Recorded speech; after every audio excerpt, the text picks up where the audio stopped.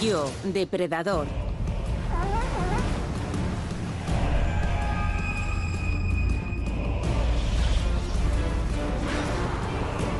Esta orca se arriesga muchísimo viniendo hasta la playa a cazar.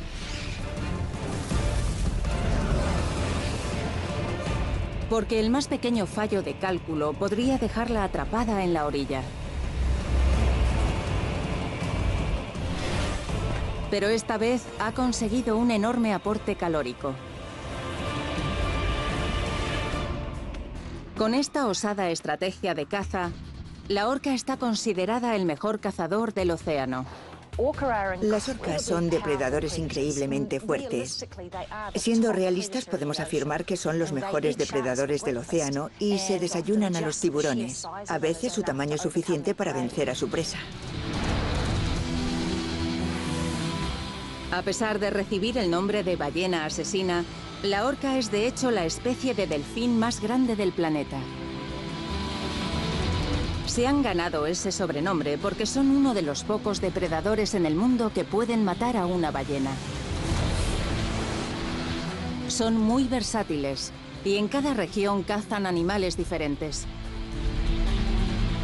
Cada presa utiliza tácticas defensivas diferentes y presenta un problema específico que las orcas tienen que resolver en cada ocasión para poder sobrevivir.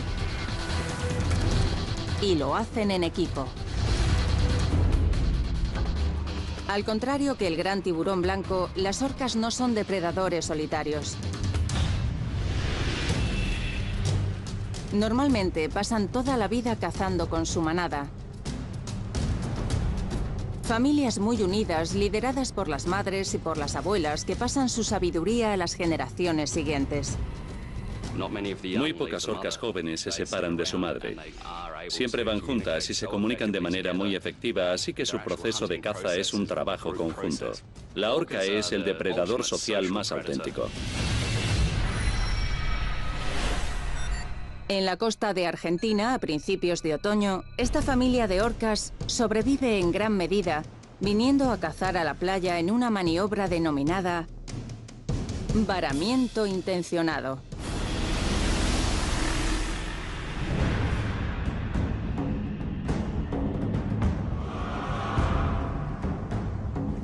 La playa está llena de cachorros de león marino, aprendiendo a nadar.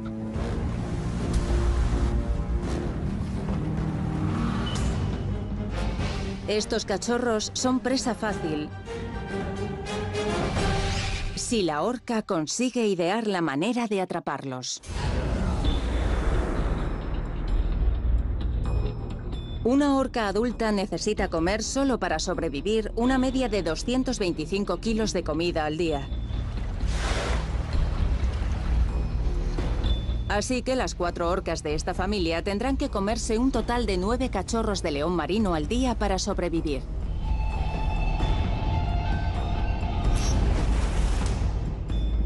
Cada miembro del grupo tiene que colaborar.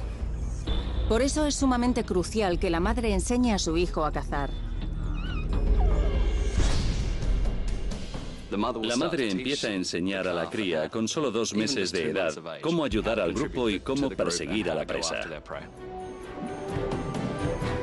Esta madre está lista para enseñarle a su hija la técnica del varamiento intencionado.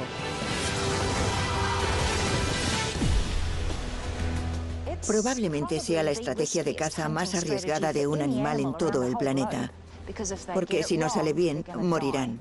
Se quedan atrapadas en la playa y no pueden volver al mar. Si una orca comete un error, la mayoría de las veces acaba con su vida. La orca madre tiene que ser muy rigurosa.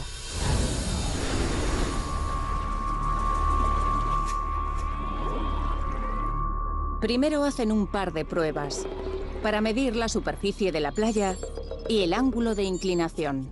Requiere mucho trabajo y esfuerzo y mucho entrenamiento llegar hasta la playa y cazar a estos cachorros de león marino. Está calculando todo y se pregunta, ¿es la playa lo suficientemente empinada? Una vez que me lance fuera, ¿podré volver a entrar? ¿Es seguro llevarme a mi cría y enseñarle cómo cazar estos cachorros de la orilla? Empuja a su hija dentro y fuera de las aguas menos profundas para que experimente la sensación de la tierra rozando su cuerpo. Ahora llega el momento de enseñarle cómo se hace.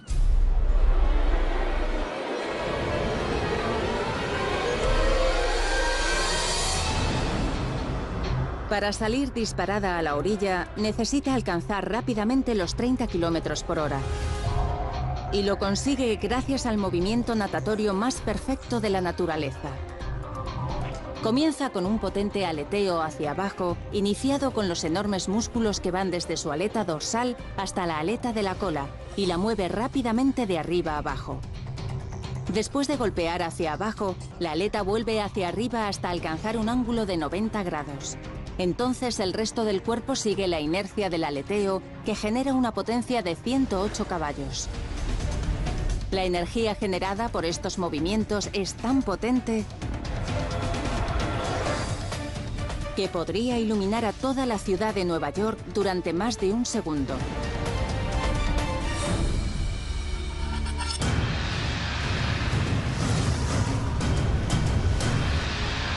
Y antes de saber lo que ha pasado, el cachorro de león marino se ve atrapado en las fauces de la horca.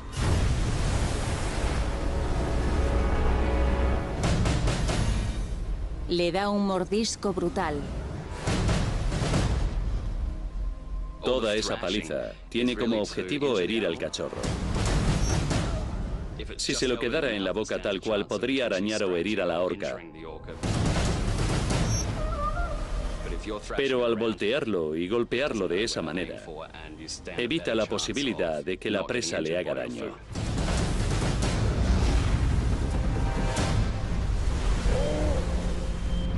Después de golpear al cachorro, con su hija mirando atentamente, hace algo que parece ir en contra del comportamiento propio de cualquier depredador de la naturaleza.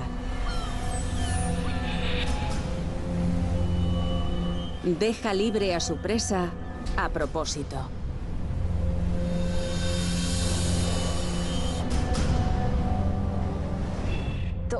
La orca necesita practicar mucho su varamiento intencionado. Y a veces cuando acaba de entrenar si no tiene hambre, deja libre al cachorro para que vuelva a la playa.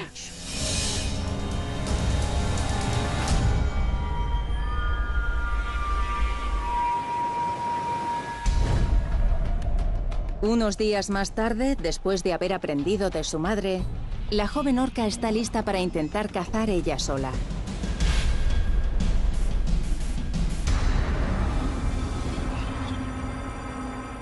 Oye el ruido de las piedras de fondo y a los cachorros chapoteando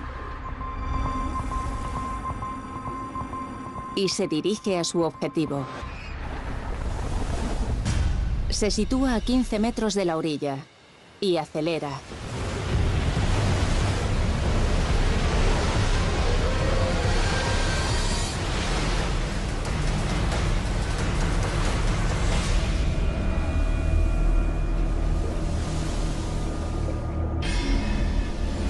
No solo no ha atrapado al cachorro, sino que ha salido demasiado y se ha quedado atrapada en la arena.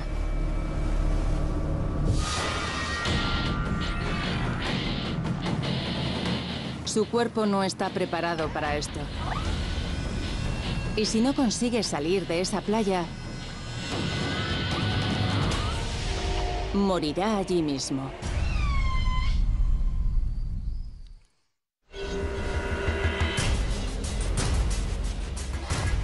El agua cubre la mitad de su cuerpo, pero esta joven orca no flota lo suficiente como para salir nadando.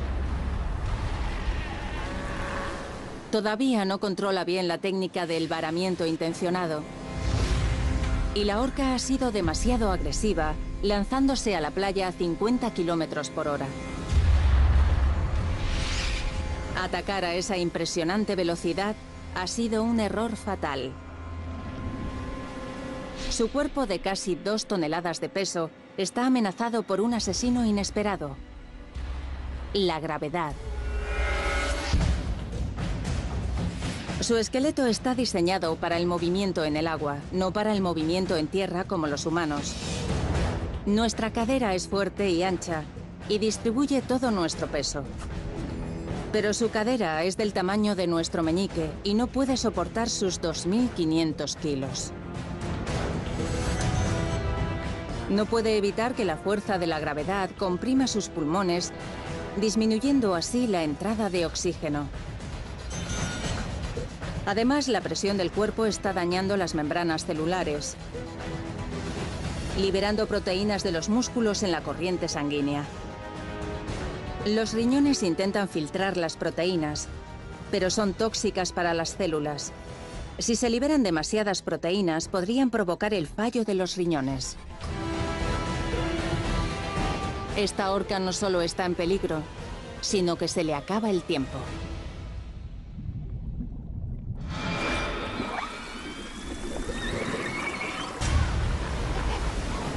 Desesperada pide ayuda.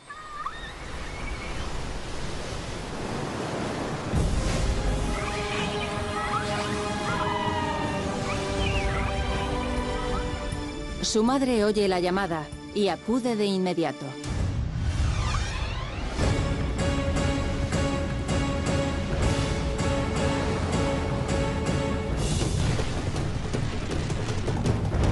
No puede rescatar a su hija,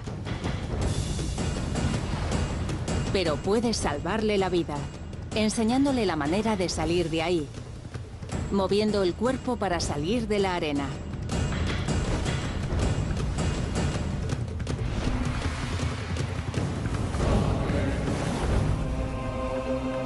Si la cría imita los movimientos de la madre, podrá escapar de la playa.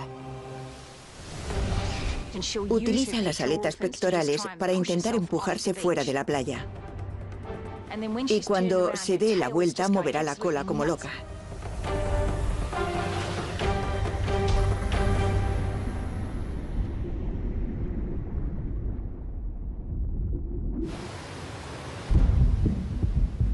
La cría escapa por los pelos y aprende una lección que recordará toda su vida. Esta es la primera vez que la comunicación le ha salvado la vida, pero no será la última. La comunicación es esencial para la supervivencia de las orcas.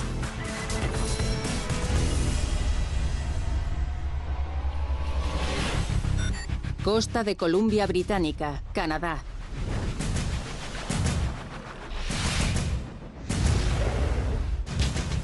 Esta manada de orcas saben cuándo tienen que evitar comunicarse.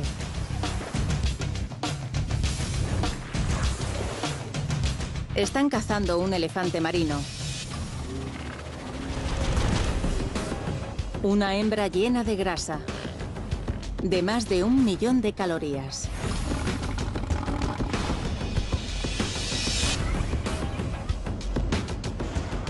El menor ruido de las orcas podría costarles la comida de hoy.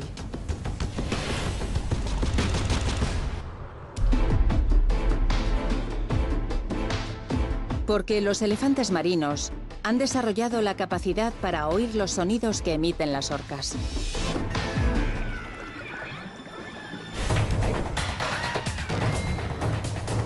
Es un sistema de alarma biomecánico que les permite detectar a su atacante antes incluso de que lancen su ataque.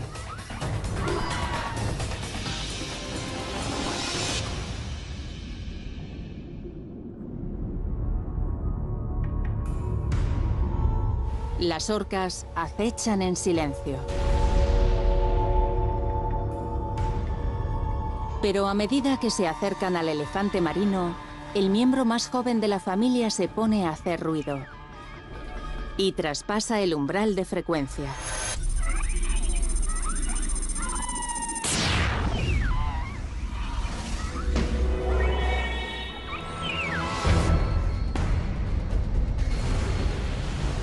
El elefante marino se sumerge y toma una gran ventaja. Pero la joven y desenvuelta orca le persigue. Y más le vale darse prisa porque no sabe que el elefante marino puede estar bajo el agua durante 30 minutos.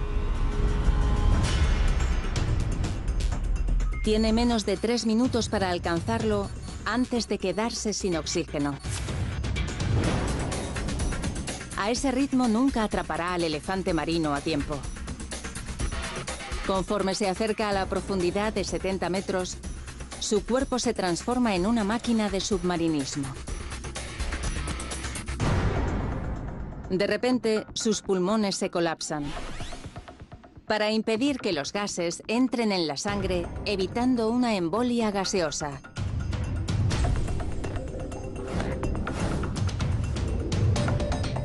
Cuando los pulmones se desinflan hasta una pequeña parte de su tamaño original, disminuye el volumen de su cuerpo.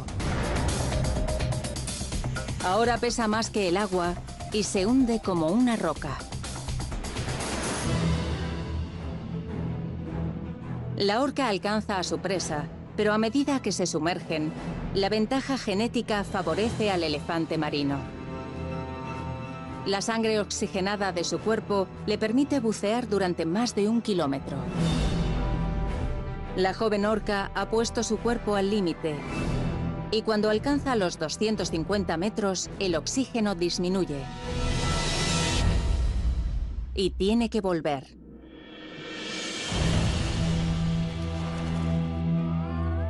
El acercamiento poco cuidadoso de la joven orca ha desbaratado la estrategia de toda la familia y les ha dejado sin una presa de más de un millón de calorías.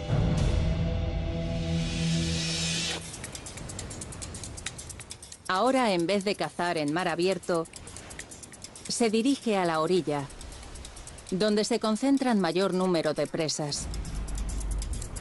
Con más objetivos, aumentan las posibilidades de conseguir alimento. Pero en esta zona de menos profundidad, el agua es más turbia.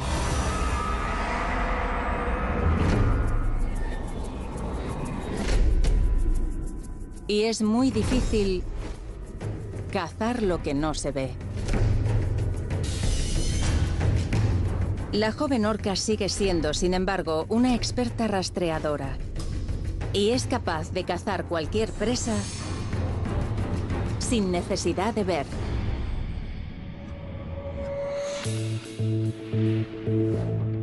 Esto es gracias a la ecolocalización, un sonar biológico tan potente que puede percibir un objetivo del tamaño de una mandarina a una distancia de 100 metros. Con sus fosas nasales emite cientos de sonidos en un solo segundo. Estos sonidos viajan por el agua a 1500 metros por segundo, casi cinco veces más rápido que la velocidad del sonido por el aire. En cuestión de segundos, ese sonido rebota y vuelve portando información. Sabe que hay dos animales grandes y que están a casi un kilómetro de distancia. Incluso sabe en qué dirección ir para encontrarlos. Pero no son objetivos ideales. Son muy grandes y una pelea con ellos podría herirla. Así que sigue investigando e inicia una nueva fase de ecolocalización mucho más sofisticada que un sonar militar. Según la variación de la velocidad en el eco que le llega de vuelta, sabe que miden un metro y medio y que pesan unos 90 kilos. Tienen una capa de grasa de al menos 5 centímetros, lo que significa que son leones marinos adultos. Y finalmente le llega un dato crucial. Uno de ellos se mueve de manera errática y tiene una densidad inusual. Está herido, tiene una costilla rota. El objetivo perfecto.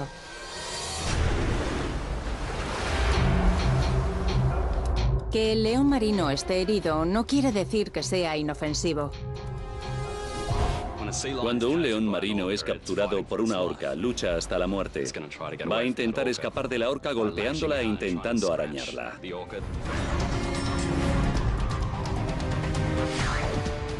Para minimizar el riesgo de salir heridas, las orcas tienen que atacar con una estrategia.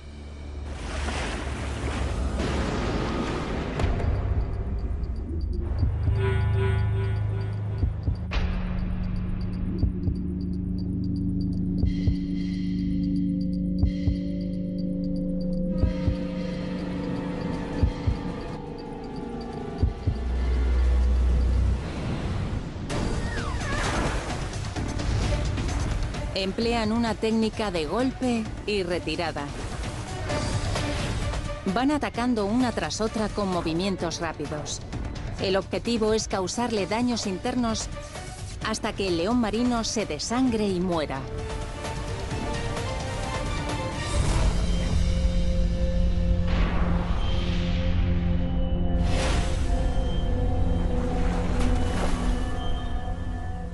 Los golpes son tremendamente salvajes. Es cruel ver cómo golpean al animal. Estás deseando que lo maten de una vez.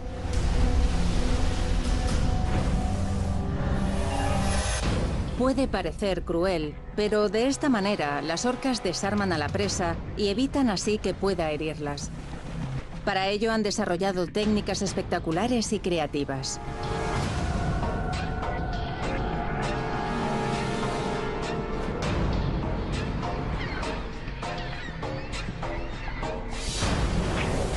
Con solo un rápido movimiento de su aleta de cola, la joven orca lanza al león marino 9 metros por los aires.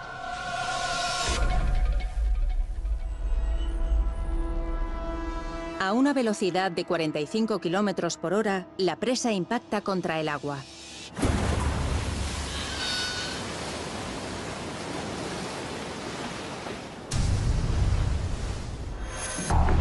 Las orcas golpean a su víctima por turnos. No quieren salir heridas, así que se retiran y esperan a que muera. De repente, el león marino se revuelve. A pesar de tener huesos rotos y órganos dañados, aún le quedan fuerzas. Dispone de un solo intento para llegar a la orilla y librarse de las orcas. Si consigue escapar, las orcas habrán perdido un valioso bocado.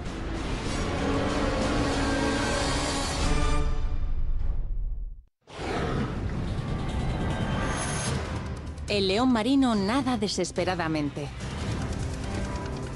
La víctima de las orcas está a solo 45 metros de la playa y de lograr escapar. Las orcas solo tienen unos segundos para capturarle y se lanzan a 55 kilómetros por hora.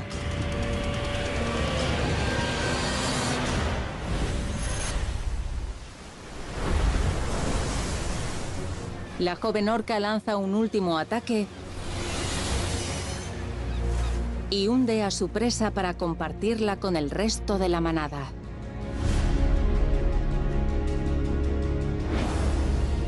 Las orcas son generosas por naturaleza y se aseguran de que todos los miembros de la manada consigan algo de comer. El león marino solo supone menos de la mitad del alimento que esta manada necesita diariamente, así que no tienen más remedio que salir a cazar de nuevo. Otra manada de orcas, a 1.300 kilómetros al sur, en la costa de Monterrey, California, tiene un plan más ambicioso. Cazar una presa enorme. Una pieza que mantendría a todos los miembros de la manada durante una semana. Una cría de ballena gris. Con 6.800 kilos. El peso equivalente a dos coches grandes. Esta cría no es una presa fácil.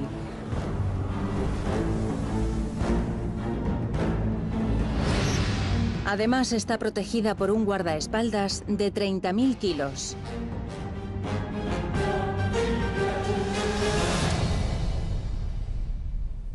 Su madre.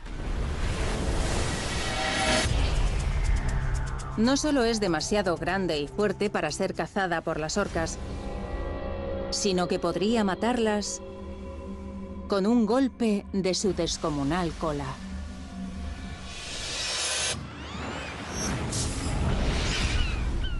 Las orcas necesitan un plan de ataque. Comienzan patrullando el extremo norte del cañón de la bahía de Monterrey, atravesado por cientos de ballenas grises y sus crías en su viaje migratorio de México a Alaska. Con el tiempo, las ballenas se han adaptado a la amenaza de las orcas y hacen un camino más largo pegadas a la costa. Ahí las aguas son menos profundas, de manera que las orcas no pueden colocarse debajo de las ballenas para atacarlas. Sin embargo, hoy esta madre de ballena gris lleva a su hija por un camino más corto, en línea recta a través de las aguas más profundas lejos de la costa,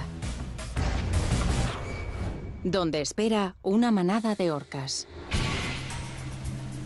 Las orcas saben que solo disponen de una oportunidad para matar, así que actúan con precaución. No pueden utilizar su potente y precisa técnica de ecolocalización, porque las ballenas son hipersensibles a los sonidos que emiten. Siente la ecolocalización en su piel. Es como cuando nos ponemos al lado de un altavoz en un concierto de rock y sentimos las vibraciones. Las orcas tienen que cambiar su sistema de rastreo.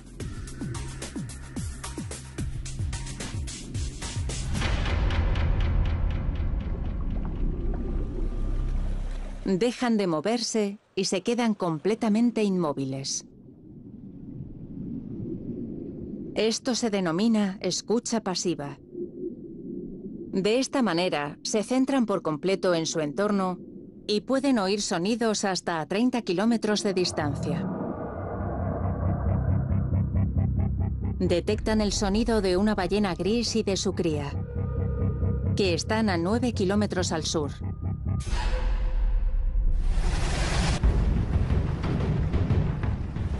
En un instante, las orcas se ponen en formación para iniciar la primera fase de su ataque.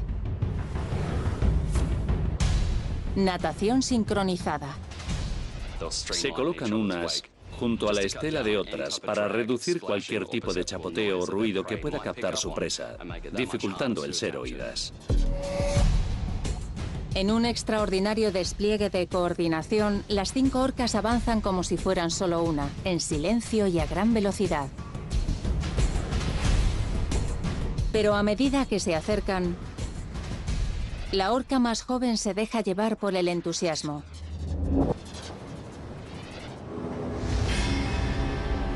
Y rompe la sincronía con las otras. Y de repente, las ballenas son conscientes de que las están persiguiendo. Su única posibilidad es nadar hacia la costa. Si consiguen llegar a aguas menos profundas antes de que las orcas les alcancen, estarán a salvo.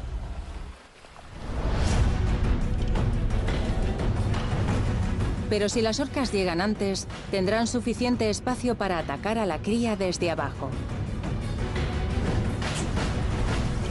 Para las orcas es una carrera para conseguir comida. Para la cría de ballena es una carrera para sobrevivir.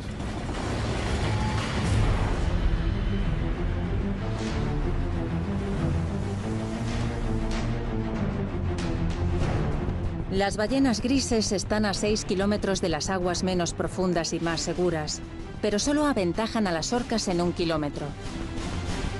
Y esa ventaja va disminuyendo. Estas orcas de 4 toneladas son más rápidas que el más rápido de los humanos, porque están diseñadas para ser muy veloces.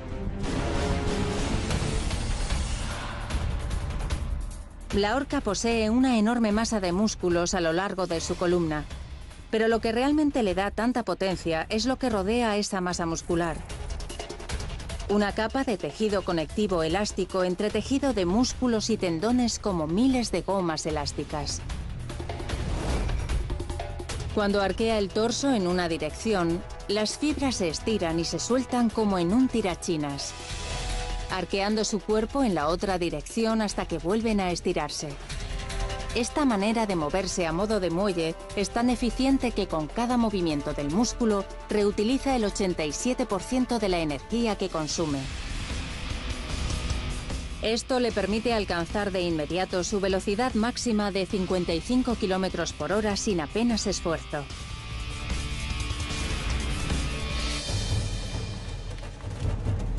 La cría de ballena solo es capaz de nadar a 12 km por hora, y las orcas reducen rápidamente la ventaja. Pero antes de atacar, tratan de neutralizar a su mayor amenaza, la ballena madre.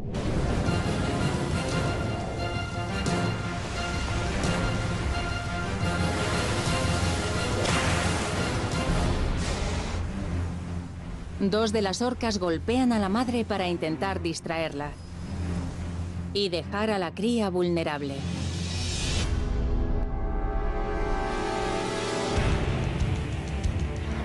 Una de las orcas embiste la barriga de la cría con su enorme cabeza. El cráneo de la orca se ha desarrollado de tal manera que es una enorme pieza de hueso. No paran de golpear a esas dos ballenas grises intentando causarles hemorragia interna, fracturas o heridas que agoten al animal.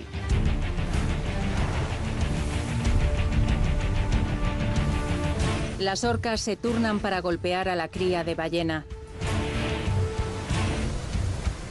pero su madre la defiende con violencia. De alguna manera, tienen que conseguir separarla de la cría. Una de las orcas se mete entre las dos ballenas. Para intentar separarlas, procurando no recibir un golpe de la poderosa cola de la ballena madre. Encajada entre 40.000 kilos de ballena gris, la orca no quiere arriesgar su vida y se retira. Por ahora. Las orcas son sumamente tenaces. Una vez que se centran en algo en particular, están decididas a conseguirlo. Conseguir capturar a un animal puede llevarles un par de horas o más.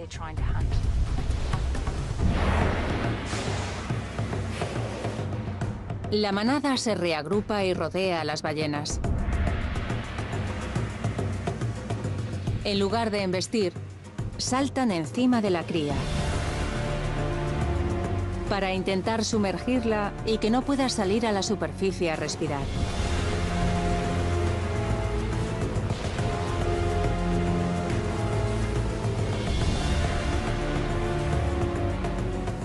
La nueva táctica funciona. La ballena madre intenta contrarrestar el ataque de las orcas. Pero son demasiadas.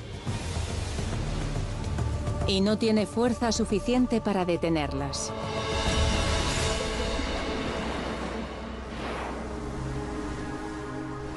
En un momento dado, la madre está tan agotada que empieza a sucumbir también al ataque. Tiene que tomar una decisión muy difícil, pero al final tendrá que abandonar a su cría, o si no, ambas morirán. Después de un ataque brutal de tres horas, las orcas sumergen a la cría.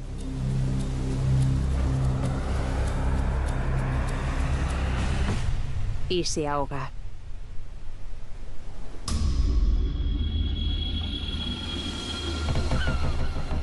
La tenacidad de las orcas ha dado sus frutos, pero no pueden empezar a comerse a la ballena sin más. La grasa de la ballena tiene 10 centímetros de espesor y es prácticamente impenetrable. Es como si nosotros intentáramos darle un mordisco a una sandía. Todo lo que conseguiríamos sería dejar los dientes marcados en la corteza. Algo así pasaría con las orcas. Las orcas devoran las partes más blandas, la lengua y la mandíbula inferior. Podríamos decir que es un desperdicio que las orcas solo se coman la lengua y las partes blandas de la boca, pero si lo pensamos, en realidad, eso suponen miles de kilos de carne. Es una gran recompensa después de haberse arriesgado a desafiar a una ballena gris. Es una seria prueba de la incomparable determinación de las orcas. Y en ningún lugar esta determinación es tan importante para la supervivencia de la orca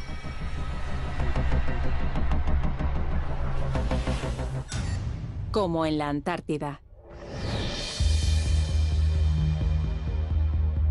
Aquí es muy difícil atrapar a las presas.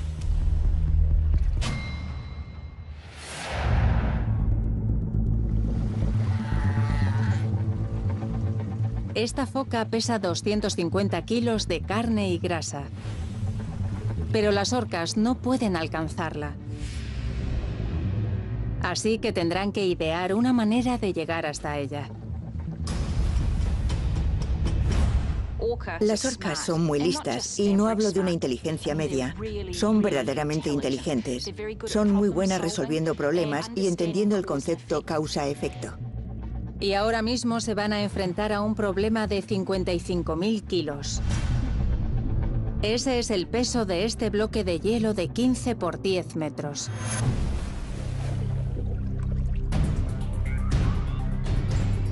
Inclinarlo es impensable. Las orcas no pueden levantarlo y aguantarlo hasta que la foca se deslice y caiga al agua. El hielo es demasiado duro. A pesar de que las orcas son fuertes, no pueden romperlo a golpes. Cuando la fuerza falla, hay que usar el cerebro.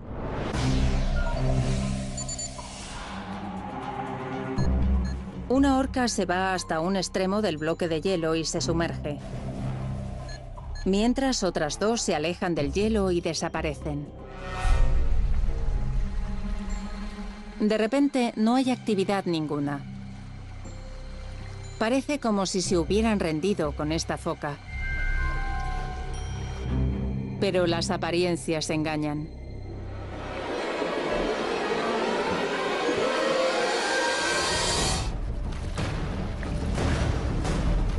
El hielo se resquebraja en cinco trozos y la balsa salvavidas de la foca se ha hundido un 80%.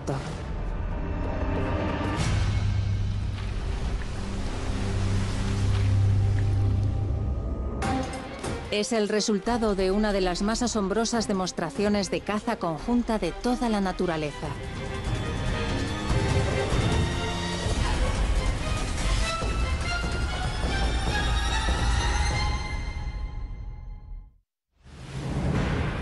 Estas orcas han perfeccionado el arte de crear olas mortales en las que el agua se convierte en su arma más letal.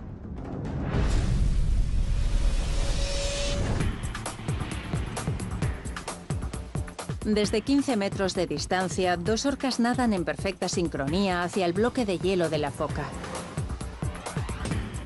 Enseguida alcanzan una velocidad de 30 km por hora, nadando lo más cerca posible de la superficie sin llegar a asomar.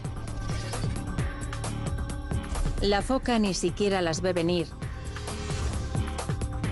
porque las orcas nadan inclinadas hacia la derecha y sumergen su aleta dorsal de manera que se acercan hasta pocos centímetros del bloque antes de bajar y pasar por debajo de él. La fuerza y la aceleración de sus cuerpos crean un torbellino que hace bajar el bloque y crea una ola de un metro.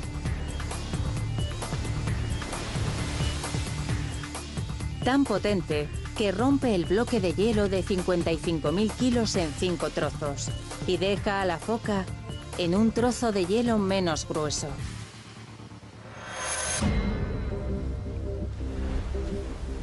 Una segunda ola de ese mismo tamaño derribaría por completo a la foca, que intuye el peligro y se cambia a un bloque de hielo tres veces más grande que el primero. Las orcas son muy perseverantes. Si no consiguen a la primera lo que quieren, seguirán intentándolo una y otra vez. Las orcas rodean el bloque de 375 metros cuadrados y se preparan para la siguiente fase de ataque en la que cada miembro tiene una misión que cumplir. Este es probablemente el método de caza más coordinado de todo el reino animal.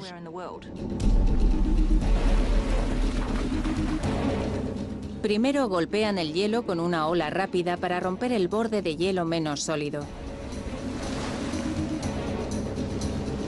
Llega una segunda ola, pero es demasiado pequeña.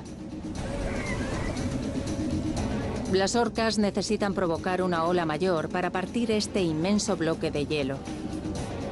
Pero este islote de hielo está rodeado de pequeños trozos de hielo que son como baches que ralentizan el acercamiento de las orcas. Es hora de hacer un poco de mantenimiento. Es importante limpiar los escombros, pero simplemente están preparando el terreno antes de acometer la fase principal del plan. Mover el bloque a aguas más despejadas.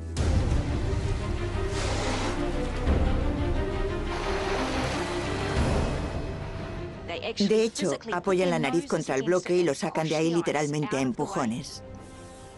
Pueden predecir el futuro, es decir, que entienden perfectamente lo que pasará si hacen eso. Y no hay muchos animales que puedan desarrollar ese tipo de pensamiento. Al mover el bloque de 93.000 kilos a mar abierto, la foca va a tener muy complicado el escapar y subirse a otro bloque. Además, las orcas tienen aquí suficiente espacio para golpear el bloque con olas más potentes.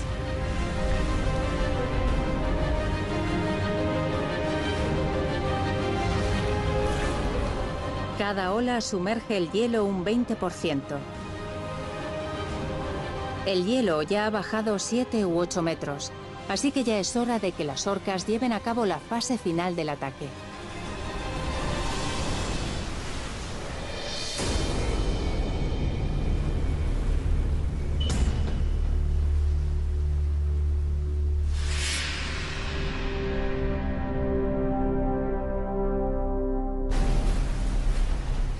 Sin salir del agua, esta manada de orcas han cazado su presa gracias a un incomparable despliegue de creatividad y trabajo en equipo.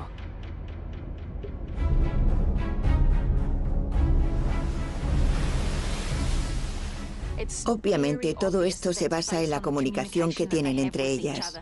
Para poder coordinar un ataque con olas hay que tener la capacidad de establecer una sincronía perfecta y me sería más difícil encontrar a un grupo de personas que fueran capaces de realizar algo así.